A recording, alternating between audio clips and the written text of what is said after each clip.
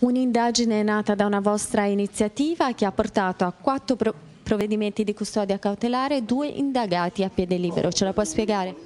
Sì, eh, nasce eh, da voci raccolte eh, nell'ambiente di un bar di Faenza che riguardavano un giro di sostanze stupefacenti all'interno di questo locale pubblico.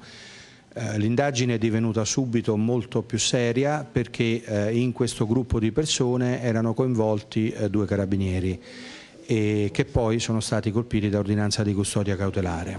Due carabinieri di Faenza. Due carabinieri del radiomobile di Faenza. Ecco, eh, questi due individui si sono rivelati spacciatori e consumatori di cocaina. Uh, in particolare uno uh, è accusato di spaccio consumatore e, e, è accusato anche di aver spacciato la stessa sostanza stupefacente per potersene approvvigionare. Uh, il secondo militare è accusato di favoreggiamento. Ecco, le altre due persone invece chi sono? Le altre due persone sono i fornitori della droga, sono un incensurato ed una persona già nota alle forze dell'ordine che noi accusiamo di essere i fornitori della sostanza stupefacente. In più c'è una terza persona, una ragazza.